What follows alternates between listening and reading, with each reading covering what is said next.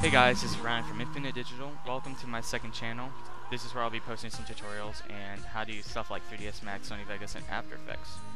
So today we're going to be going over how to use Rayfire in 3ds Max.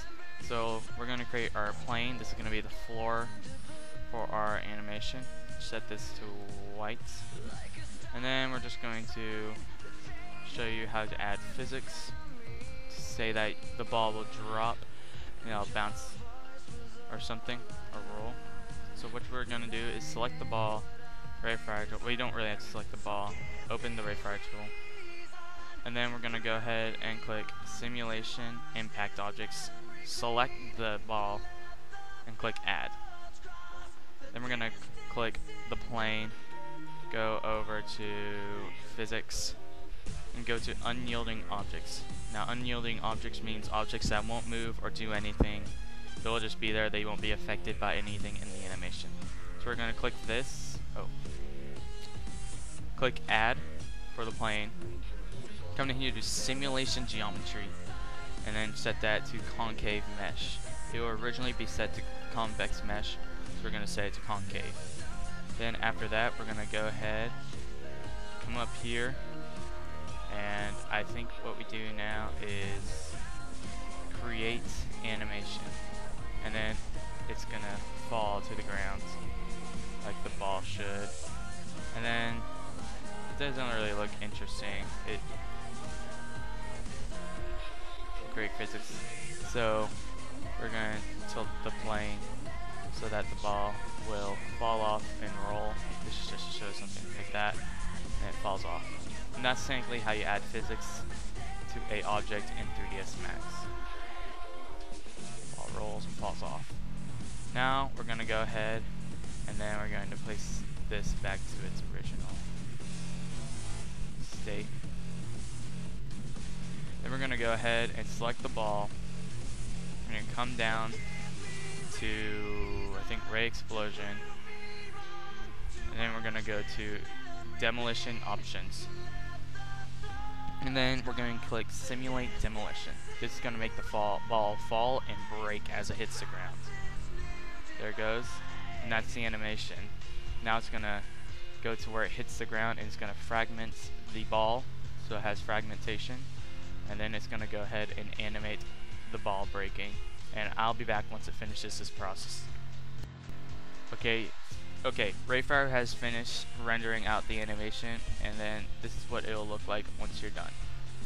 The ball fall and then break as it hits the ground. And that's how you make basic demolition, like say they want like a ceiling tile to fall, you model up the ceiling tile, and then you go ahead, raise it above the ground, and have it fall, and it breaks. And then you just put that into like After Effects and Composite and all that crap. And then now we're going to show you how to do like something flying into a wall and destroying. So I'm going to go ahead and make a new file we're going to go ahead and go back and make our regular plane. Draw it out. Make it white. It's easier to look at. And then we're going to go ahead and then we're going to take the box tool. And then we're going to build up a little tiny wall. Set that to gray. Take a sphere.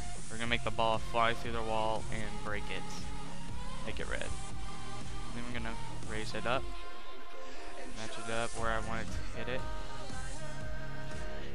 and then see they all go through there. So let's an so that now we're gonna instead of adding physics to this ball, we're gonna animate it.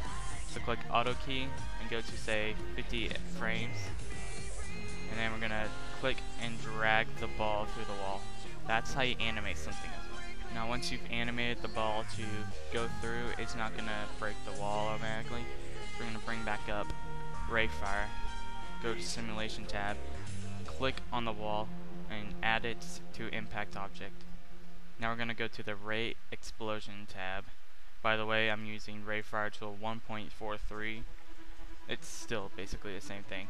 Then we're going to go to the fragmentation options and set this to 35 fragments. That's just what I'm going to make it. That's going to tell you how many fragmentations and objects are going to be falling through the wall. 35 objects. Now we're going to go ahead and click Fragmentation Impact Object. and it's fragmentating the wall. And then we're gonna go, once it's done fragmentating, to here. And we're gonna just add the ball to unyielding objects and the plane to unyielding objects. Then go down here to inactive objects. And we're going to select the wall, hold control and, and click on the plane to deselect it. So the only thing that we have are the parts to the wall. We're going to click it to inactive objects. Then we're also going to have this set to concave for unyielding objects. It, it's always going to be set to convex when you open Rayfire, so set it to concave under the unyielding objects tab. Now we're going to go up to the physical options, and then we're going to click create animation. And it's going to animate the ball flying, and it's going to hit the wall, and the wall's going to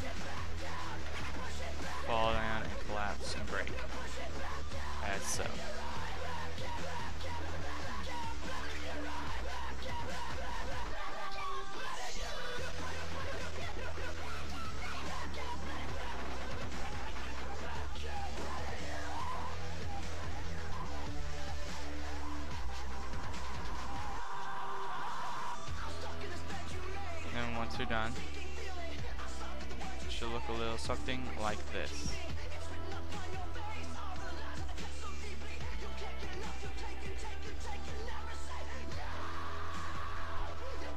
And that's basically the basics of Rayfire tools. Thank you for watching this tutorial. Please be sure to subscribe to my main channel, Infinite Digital, and this channel. More videos will be coming up soon. Thank you.